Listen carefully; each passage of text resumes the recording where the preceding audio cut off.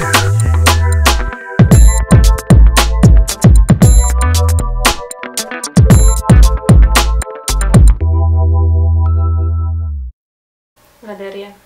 z Ukrainy.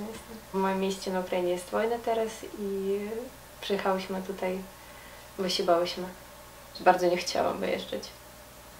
U nas e, w mieście pojawili się separatyści i e, bardzo dobrze pamiętam ten period, kiedy zaczę- zaczęli strzelać i e, pamiętam, że ja chodziłam do liceum i przy naszym liceum e, była, nie wiem, policja, czy no, budynek, tak, tak, gdzie znajdowała się policja i ten budynek spalili i przez codziennie musiałam chodzić, tak, kiedy przyszłam do liceum, to przez ten budynek chodziliśmy z siostrą i pamiętam plamę krwi na asfalcie i no i straszne rzeczy były w ogóle. Ja nie chciałam wyjeżdżać, ale rozumiałam, że będzie, będzie lepiej. O, to było straszne. Było bardzo ciężko. E, Bo mój, cała moja rodzina nie jest wielkiego wzrostu, jesteśmy niskie.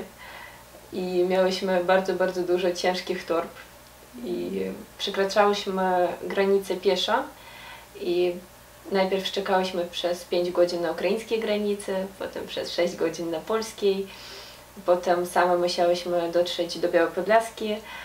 I akurat pamiętam, to bardzo dobrze pamiętam, jakby to było wczoraj, ale to było bardzo ciężkie. I wspomnienia chyba będę miała na całe, na całe życie, życie przez.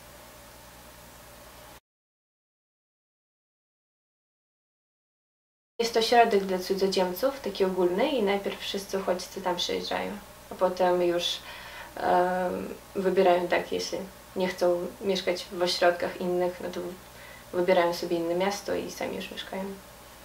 Dosyć szybko poradziłam sobie. Najpierw byłam bardzo przestraszona. Pamiętam, że przychodziłam do domu, codziennie płakałam prawie.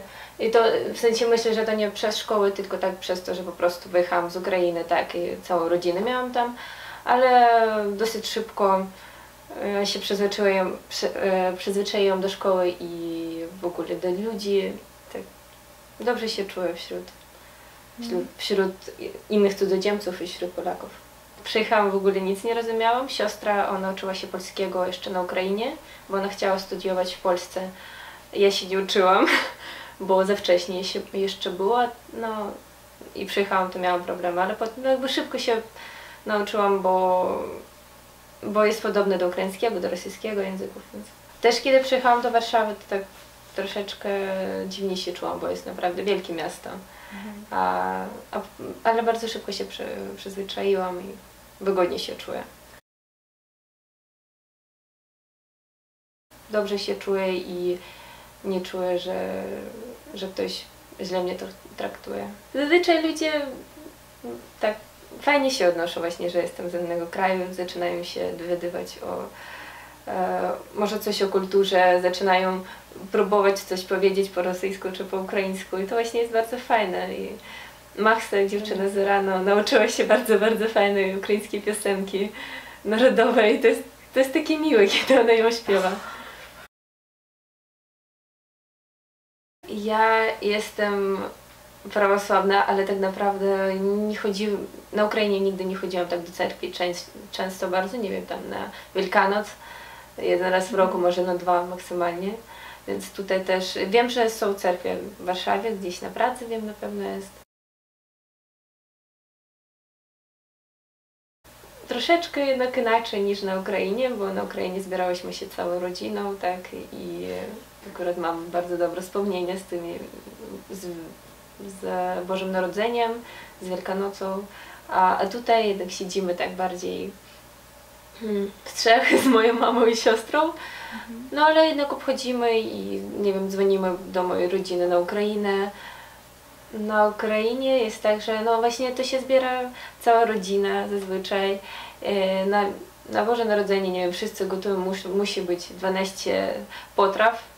E, Jest taka potrawa tradycyjna na, Boże Narodzenie, to jest, gotuje się jakaś kasza, nie wiem, krzyczana, e, jakakolwiek. I tam się dodają różne, różne słodkie rzeczy, nie wiem, rodzynki, marmelada.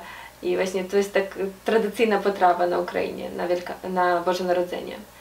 A na Wielkanoc akurat w tym roku mama nie robiła, ale w zeszłym roku e, piekła takie ciasto wielkanocne. I wiem, że jest bardzo skomplikowane w ugotowaniu. Gotuje się przez ileś tam dob, ale jest bardzo pyszne. Ludzie chyba w Polsce są bardziej przyjazne, ale mi się wydaje, że właśnie to na Ukrainie teraz wszyscy już są zmęczeni sytuacją w, w kraju i ludzie są zmęczeni, niektórzy źli już są i no zmęczeni po prostu tak całą sytuacją. W Polsce jest to wiele prościej. W Polsce ja bym powiedziała, że ludzie więcej czasu spędzają z rodziną, to też bardzo mi się podoba. A na Ukrainie to, no nie wiem, na Ukrainie jest cała moja rodzina, tak? To chyba najważniejsze dla mnie.